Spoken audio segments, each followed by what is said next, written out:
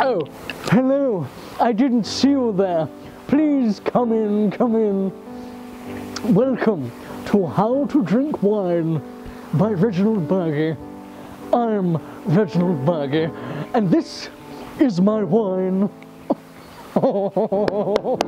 I'm excited. Are you excited? Now, the most important thing you've got to remember is that wine is like a fine wine. You've got to you've got to caress it. You've got to mold it into a beautiful, beautiful. Treat it like a woman. You've got to appreciate its curves and its its personality. There are two types of wines. You, you, you have the you have your dry wine. This is an example of the dry wine. Uh, this is uh, Mc, Mc, McGuigan Estate wine. I bought that, you know. Southeastern Australia it comes from. Remember that, there'll be a quiz later. I'm quite partial to dry wines myself, but we all have our tastes, don't we? Don't we, ladies and gentlemen? Now, what you've got to do when, let me just undo this. Now, take your glass, not just any glass, it's got to be a wine glass, remember that. Not just any pansy glass, it's got to be a wine glass. So you pour, you, you pour it like so, just, oh, like so. Oh, look at that, go in there. Oh, now the wine is all safe and snug inside your glass. You've got to, you've got to just, just observe it for a minute. Look at how it swirls. Look at how it, how it, how it runs around the glass like a little puppy in a field.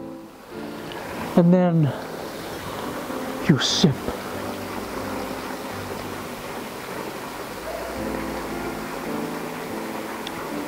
Most exquisite. Now, as I, as I mentioned before, there are many types of wines. Let's just have a shot of my old cellar at Burgie House. Because uh, I, I, I, I, I, I'll have you, I don't know if you know this, but uh, I, I had a very large selection of wines, even, even some that, that weren't even discovered yet. so naturally I patented them. I called it, I, call, I called one of them Burgie wine. Let's just have a shot. Can we have a shot of that, Gareth?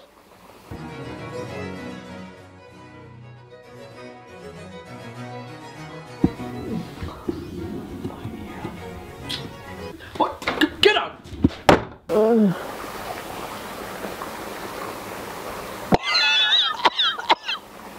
beautiful.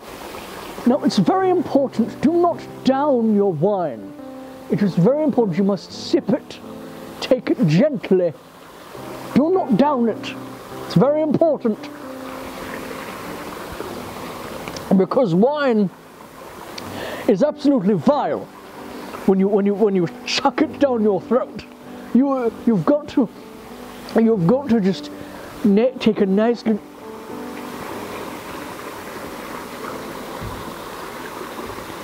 You're supposed to take a nice little sip.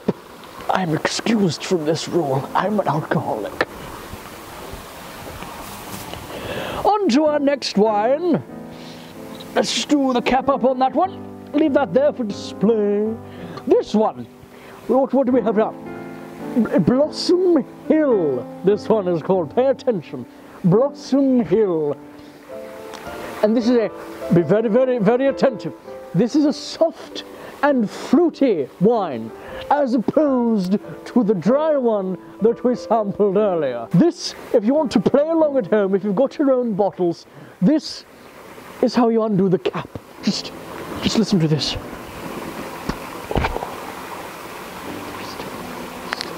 Oh, the break, the break of the foil.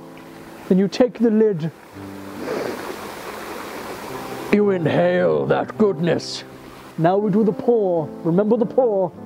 Well, not actually the pour. Fuck the pour. But, you know, pour the wine. Ooh. Ooh, the little glug glug. Yes, glug. Glug like that, you dirty bitch. Ah. I'll put this down here. Screw on the cap because I'm not a Neanderthal.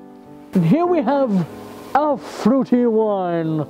The, oh, uh, time for a little etiquette. A little etiquette. You must don't hold your wine glass like this. Only bastards hold their wine glasses like this. But you, you you're supposed to hold it. Look, watch me, watch me, watch me, watch me, watch me, Gary. Put your fingers like that, like you're doing the the salute the, of the uh, of the man. You put it under here, like you're trying to. Ooh, take a nice little grip of that. And there we go. Then we sip. Remember the sip.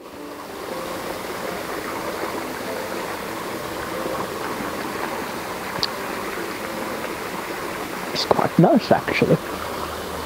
Just an important thing I forgot to tell you. You must always greet your wine. You bring it up. Let's let's, let's pour this again. Hold on. Let me just get rid of that. There we are. Right. Uh, I think I'll go for the dry one. I'll go for the dry one again. Ooh. Malagugugu Estate. Uh, oh, I'm fine. Uh, this is an important lesson in greeting your wine. Mm. You must remember, you, you, you, you go up to it, you sniff it. Hello, how are you? I'm fine. Can I fuck you?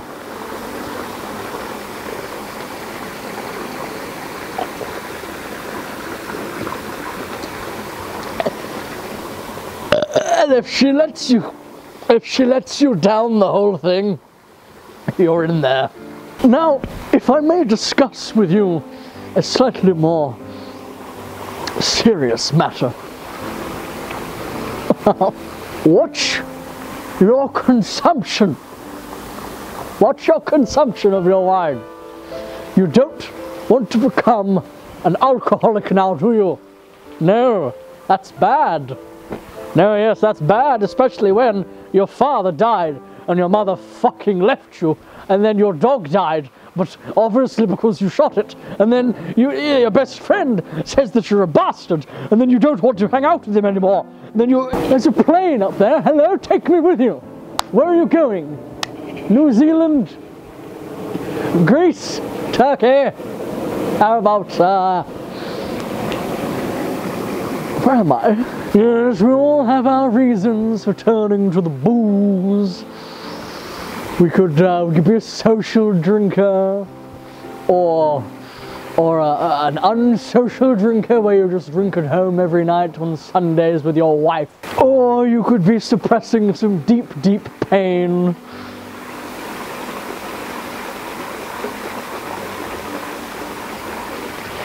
But whatever the reason, wine, oh, wine will never judge you.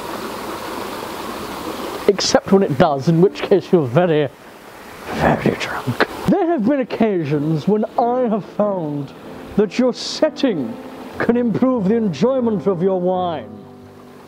For example, I am sat here in front of a lovely pond with loads of fishies. Gary, come on over. Come and have a sip with old Bug. Come on, Gary. Gary. Oh, fine, fuck you then. Mm. I I found I've, I've I've always found that you know telling oh bastard I've always found that uh, that wine uh, wine uh, makes makes you feel all numb and squishy. That's always good. That's beautiful. Uh, I think I've got glass in my foot. Uh, so I hope you enjoyed this little tutorial about how to drink wine.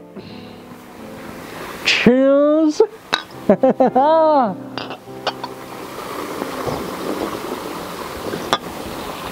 ah, Tune in next time when I show you how to drink wine again.